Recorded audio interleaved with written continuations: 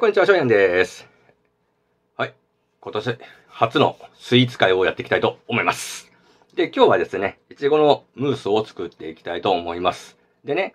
えー、いちごが今結構ね、値段がその時によって高かったり安かったりするじゃないですか。なので今回作るいちごのムースは、その生のフレッシュのいちごでも冷凍のいちごでも両方どちらでも作れるタイプになってますので、まあその時のね、まあお財布と相談して、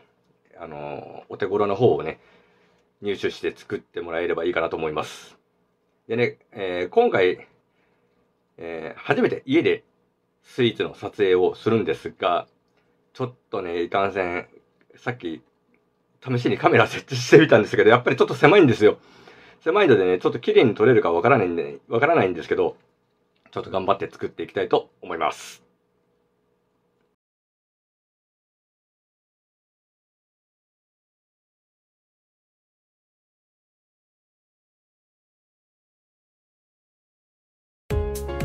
はい、では、えー、こちらがね、本体に使ういちごピューレ用のいちご。200g と、えー、グラニュー糖が 30g 飾り用のいちごピューレに使ういちご、えー、100g ですね。とグラニュー糖が 20g メレンゲ用の卵白が1個分でグラニュー糖が 20g それから、えー、生クリームをホイップしますので、えー、生クリームが 200cc とグラニュー糖が 20g それから、えー、こちらのねいちごピューレの方に、えー、まあ好みによるんですがちょっと味見してもらってちょっとね、あのー、酸味が欲しいなっていう方のために、えー、こちらですね。こっからもこれ本当に23滴ぐらいちょっと垂らすと酸味が出ますので、まあ、ここはね味見してもらって、え好みで足してもらえばいいです。ではねこちらの方を作っていきたいと思います。はいでは本体のピューレを作っていきます。こちら、えー、200g のいちごそして 30g の、えー、グラニュー糖ですね。入れてこちらを、えー、ミキサーがある方はミキサーに入れてもらってでこういうブレンダーブレンダー持ってる方はこれで潰してもらえれば大丈夫です。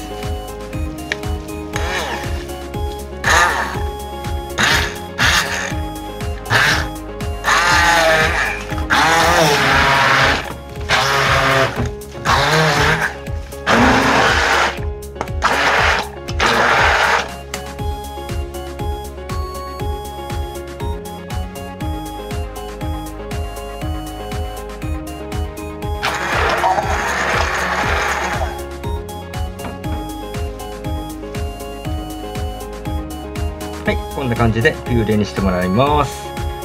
でまあこういうのはね綺麗に取ってもらえればいいので。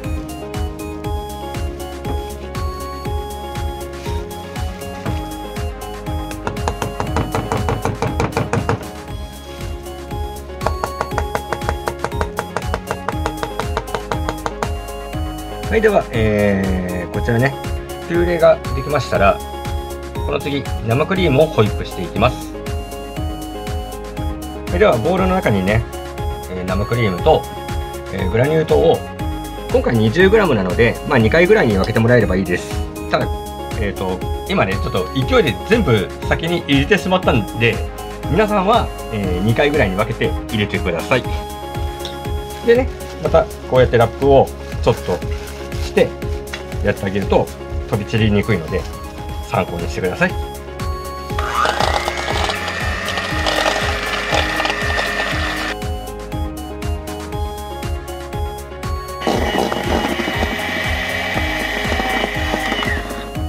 ではねこんな感じでツーンと立つ感じで8分立てにしてもらえば大丈夫です。はい次は、えー、今立てたこの生クリームの中に先ほどのいちごピューレを少し入れます。まあ4分の1から多くとも3分の1ぐらい入れてもらって軽く混ぜます。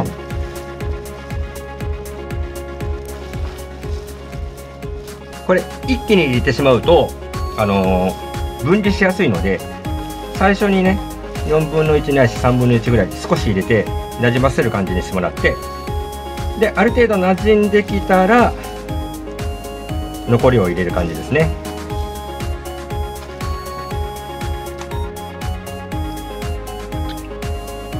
で一応ねこの残りを入れる時も残ったやつを全部入れるというよりかは2回ぐらいに分けてもらって念のためにね混ぜてもらった方が確実です。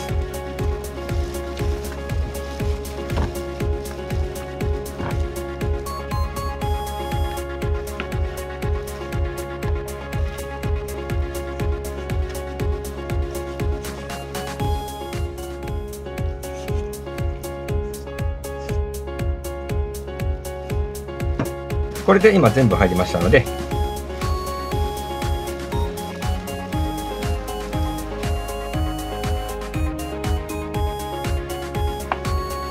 いいですね。全部混ざりましたね。そしたら次は、えー、卵白を使って、えー、メレンゲの方を作っていきます。では卵白をねメレンゲにしていきたいと思います。でこの時も、えー、砂糖をですね2回ぐらいに分けて入れてあげてください。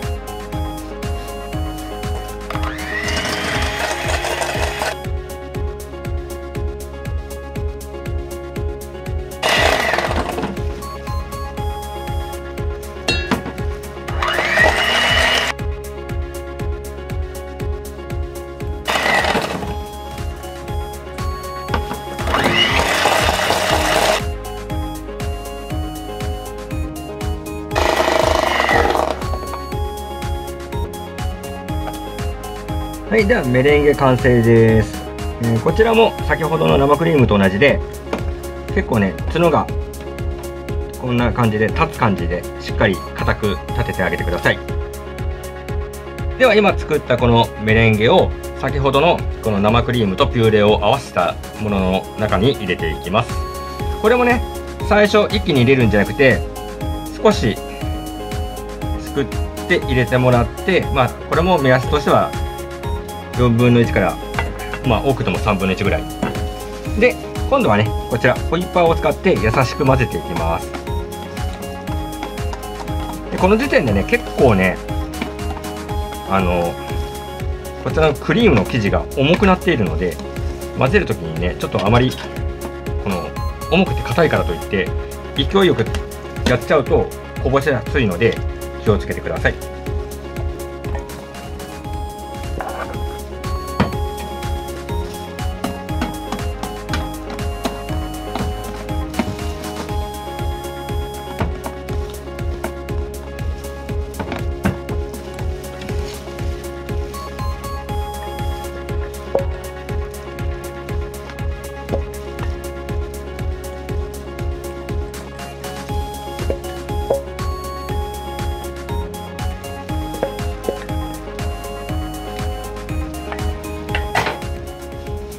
はいでは今全部入りましたのでこちらを混ぜ合わせていきます。もう本当にねあの優しく混ぜてあげてください。全体に馴染む感じで。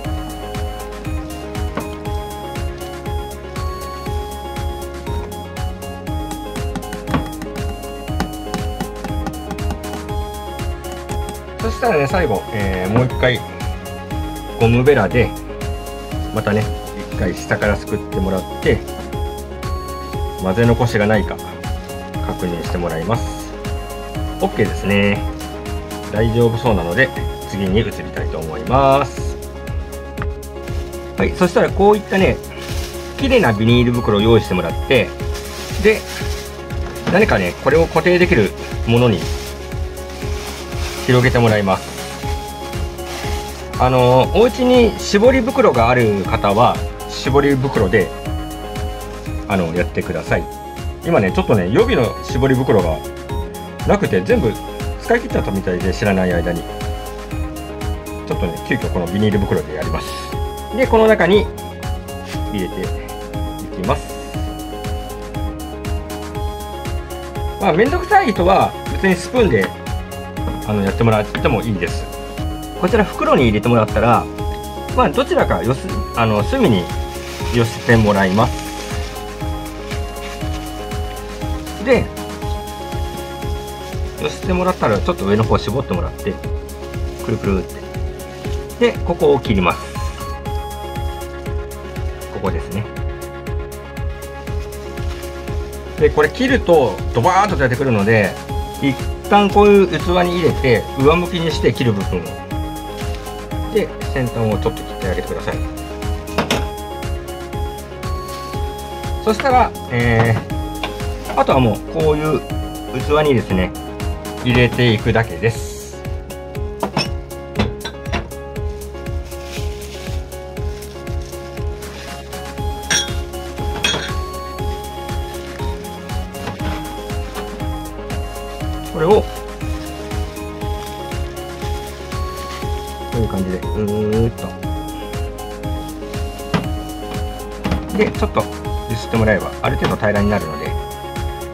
で入れていきます。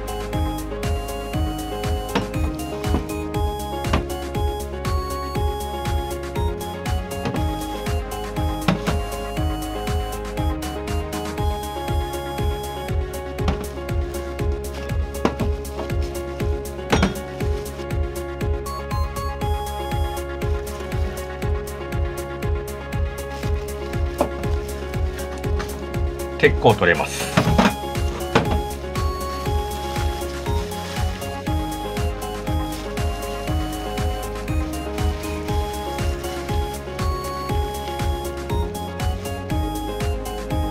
これでまだ3分の1ぐらい残っているので次ちょっとね新しい袋に変えたいと思います。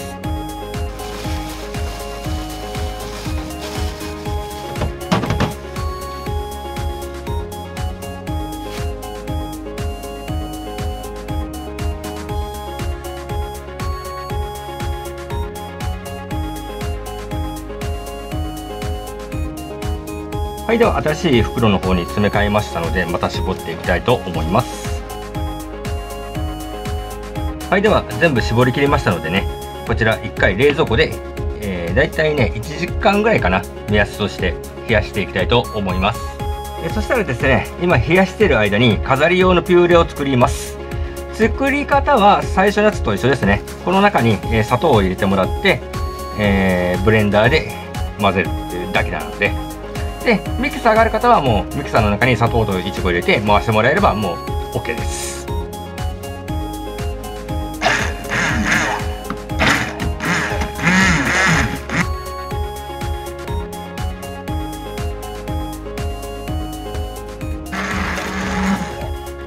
はいでは完成です。はいでは1時間ほど経って、えー、全体的にねほぼ固まってきましたので先ほどの仕上げ用のピューレを上にかけていきたいと思います。だいたい最初にねスプーン1杯分ぐらいとかかけてもらって全部均一に。